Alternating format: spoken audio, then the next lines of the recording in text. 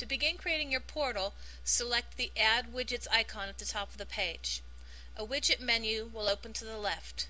Under Add a Widget, select HTML and drag it to your page. Click on Edit to configure the widget and you will be able to use the WYSIWYG editor to start, personalize the widget title. You will be able to enter text in the box and adjust it to your specifications using the order. Enlarge or decrease the size of your text, bold, italic, underline, and strike through. You may add bullets, numbered lists, indent left, right, and a horizontal line. You can also change the color of the text, the color of the text background, add web links, undo, redo, print within your box, and there is also an opportunity to change the color of the tabs.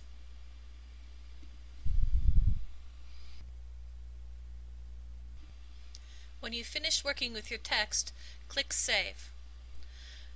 Notice that the box size is predetermined.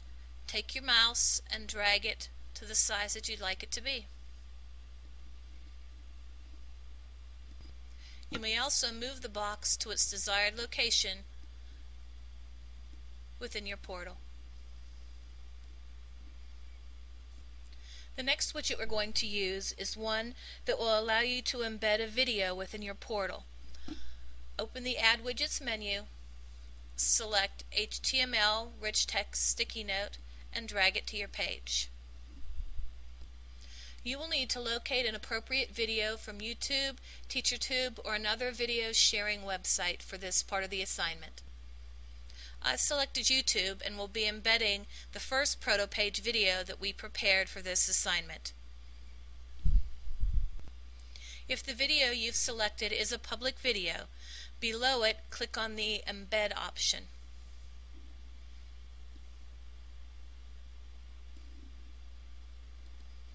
Choose a color. Select the smallest size, or you may also option a custom size. And copy the embed code.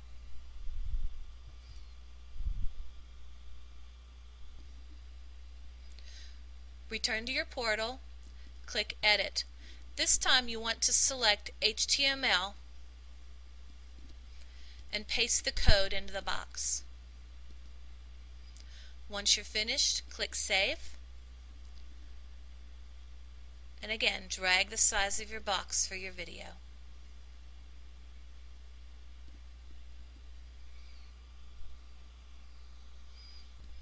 Take time to test your video and make sure it works.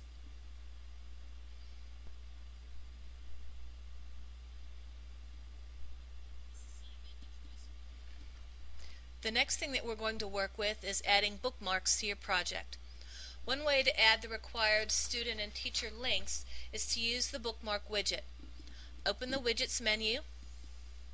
Below add widgets, choose bookmarks.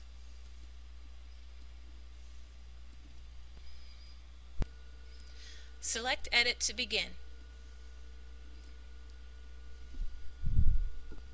Be sure to personalize the widget title and notice that this bookmark widget is preset for six individual links. You may customize the number of bookmarks presented as well as the order where they will appear on your page.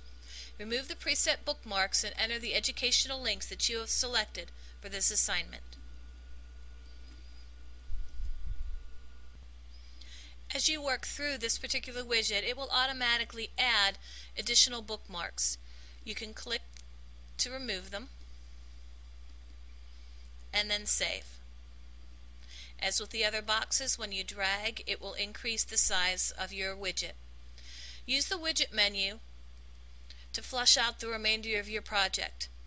Be sure to review the rubric requirements for this assignment.